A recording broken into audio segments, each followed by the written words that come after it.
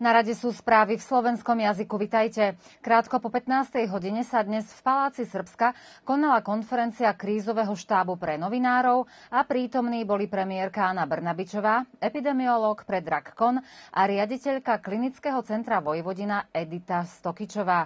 Podľa najnovších údajov za posledný deň bolo v Srbsku testovaných 9858 ľudí, z nich 295 mali pozitívne výsledky, momentálne je v celom Srbsku hospitálne hospitalizovaných 3315 pacientov a z nich 132 je napojených na umelú pľúcnú ventiláciu. Za posledný deň bohužiaľ zomrelo 9 pacientov. Prezident Aleksandar Vučić prijal dnes veľvyslanca Ruskej federácie Alexandra Bocan Charčenka, s ktorým hovoril o aktuálnych otázkach srbsko-ruských vzťahov a bilaterálnej spolupráce. Obaja vyjadrili nádej, že okolnosti čoskoro dovolia, aby sa dve krajiny v úplnosti venovali uskutočneniu spoločných plánov v spolupráci v rozličných oblastiach. Zmienili sa aj o priebehu dialogu Belehradu a Prištiny, tiež o nezvestných a presídlených osobách a o ekonomike. Vučić a Bocan Charčenka Marčenko sa shodli, že je veľmi dôležité uplatniť dohody medzi Belehradom a Prištinou, najmä tie, ktoré sa týkajú spoločenstva srbských obcí. V zhromaždení Srbska v Belehrade sa formovalo sedem poslaneckých skupín zverejnenej na internetovej stránke parlamentu. Predsedom poslaneckej skupiny Aleksandar Vučić za našu decu je Aleksandar Martinovič a jeho zástupcom je Vladimír Orlič. Predsedom poslaneckej skupiny SPS je Ivica Dačič a jeho zástupcom Đorđe Miličevič.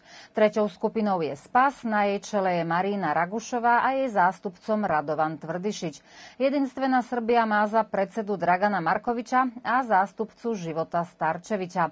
Sociálno-demokratickú stranu Srbska bude viesť Branimír Jovanovič a jeho zástupkyňou je Nataša Vacičová Michajlovičová. Šéfom poslancov Zväzu vojvodinských Maďarov sa stal Balint Pástor a zástupcom Elvíra Kovačová. Sformovaná bola aj skupina PUPS, na jej čele je Milan Krkobabič a zástupkyňa Mira Petrovičová. Jedna poslanecká skupina musí mať podľa rokovacieho poriadku Národného zhromaždenia aspoň piatich poslancov. Konštitutívne zasadanie sa bude konať pravdepodobne začiatkom budúceho týždňa a na pláne bude výber predsedu a podpredsedu zhromaždenia, vymenovanie generálneho tajomníka a formovanie pracovných telies. Všetci zamestnávateľia v Srbsku majú lehotu do 10. augusta, aby vypracovali plán, ako budú uplatňovať opatrenia v súlade s pravidlami o prevenčných opatreniach pre bezpečnú prácu s cieľom, aby sa zamedzilo šíreniu koronavírusu. Inšpektori práce budú kontrolovať firmy a podniky, či sa nariadenia dodržiavajú a budú poskytovať aj radu a pomoc tam, kde to bude potrebné. Rozhodlo sa o tom ešte 11. júla a týka sa to všetkých pracovných prostredí v interiéri, okrem práce na teréne a práce z domu. Riaditeľ inšpektorátu práce Stevan Ďurđevič povedal, že dokonca existujú agentúry, ktoré pomôžu firmám s vypracovaním takéhoto plánu, ale podľa neho to nie je potrebné, pretože celý postup nie je komplikovaný a návod na jeho prípravu je popísaný na stránke Ministerstva práce. Potom, ako boli v júni udelené zmluvy, v týchto dňoch sa začalo aj s doručovaním kľúčov od bytov na Fruškogorskom sídlisku v Starej Pazove. Užívateľia týchto bytov boli vybraní na verejnom konkurze. Byty sú súčasťou projektu riešenia bytovej otázky utečencov, vysídlených a sociálne ohrozených osôb. Pred pár dňami si prvých 59 užívateľov prevzalo kľúče a dnes bolo ďalším užívateľom doručených 110 kľúčov. To všetko za prítomnosti predstaviteľov lokálnej samozprávy, komisariátu pre utečencov a na stretnutie prišiel aj minister Branislav Nedimovič.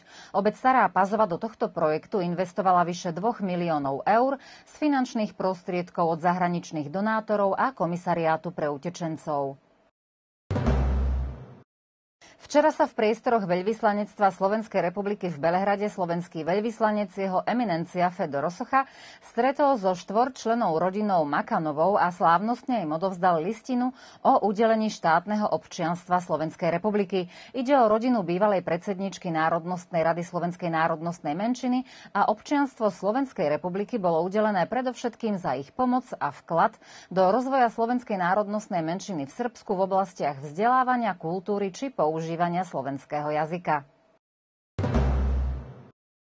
Ústav transfúzie krvi Vojvodina vyzýva všetkých dobrovoľných darcov krvi, aby darovali túto drahocenú tekutinu a to preto, lebo v tomto období ústav eviduje výrazne zmenšené zásoby krvi.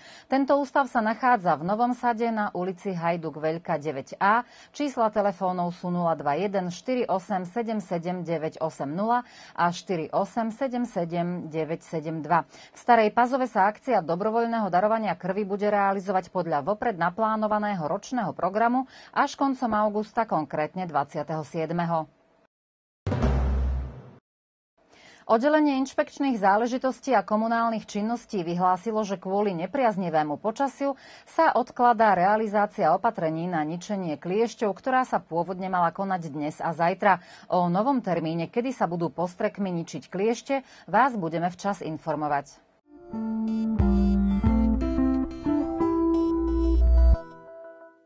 Vo štvrtok polooblačno, viac oblakov, slnečné lúče preniknú len ojedinele a meteorológovia nevylučujú ani slabý krátkotrvajúci dážď.